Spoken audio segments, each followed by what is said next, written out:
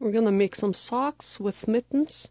Here I have different colors and I have different sizes of the Barbie feet here.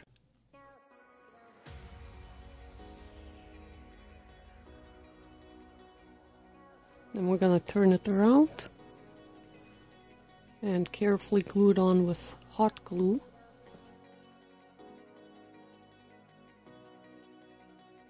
We're gonna do the same with the other one. Turn it around, glue it on.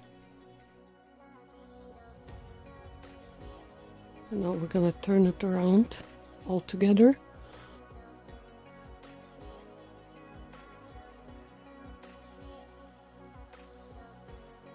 And then we're gonna take a lighter and carefully do the end here.